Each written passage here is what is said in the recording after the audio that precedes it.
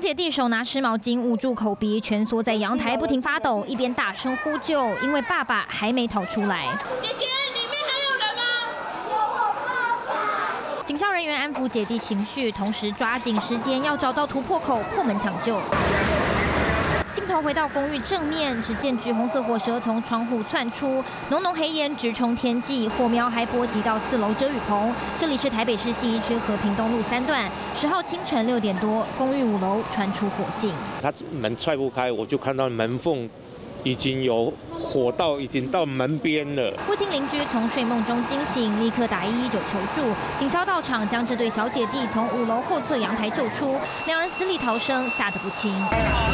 被送到医院观察后，十一岁的姐姐好不容易冷静下来，向警方透露，当时爸爸在五楼做早餐，不知道为什么就突然起火。他和弟弟被爸爸叫醒，要他们赶快逃生。姐弟俩立刻躲进五楼后阳台。家属事后表示，爸爸疑似是为了抢救爱猫，才又跑到六楼顶家。被发现的时候，已经是一具焦尸。啊，在顶家啊，不幸发现一位啊男性罹难者啊，是小孩的父亲。啊疏散了这个十三人。父亲的话在五分埔，好像在卖衣服啦。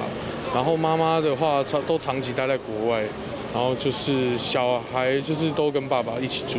死者弟弟接获噩耗，来到现场，数度溃堤。平常哥哥都会亲自送小姐弟上学，到底是什么原因引发大火，让一家人天人永隔，还要再调查。现在小姐弟则交由阿妈照顾，但失去父亲的伤痛，恐怕没办法这么快平息。华视新闻李明威、廖一婷、侯振伦台北报道。Hello，我是林仙怡。想要掌握最及时的新闻资讯吗？赶快订阅、按赞、开启小铃铛，锁定华视新闻 YouTube 频道，也不要忘记收看华视新闻杂志哦。